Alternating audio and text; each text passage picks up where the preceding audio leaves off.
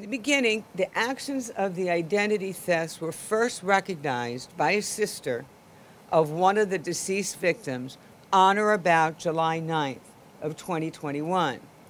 Think about that. That's only 16 days after the building's collapse.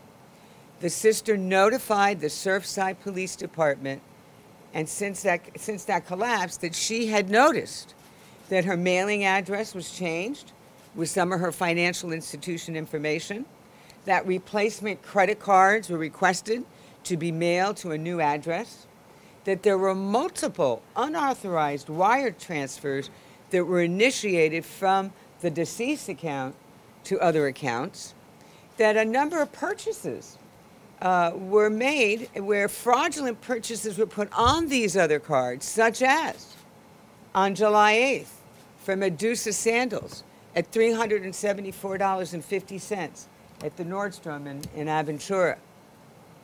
The Aventura's police department investigation was able to capture, with the assistance of the security of the mall on their closed security TV, a female in her car, which was a Mercedes, that left this merchandise, that left this merchandise, I'm sorry, the tag was registered to one of the thieves.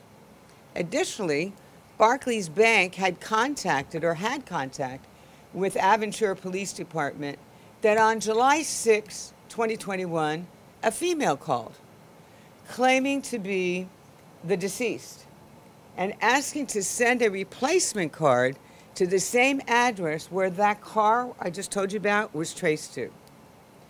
The deceased victim's husband, by the way, was also a victim uh, of identity theft.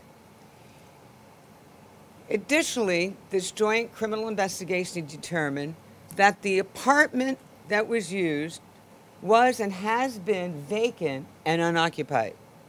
It is also alleged that it was being used as a Dropbox location for these offenders whose real addresses were in completely different locations.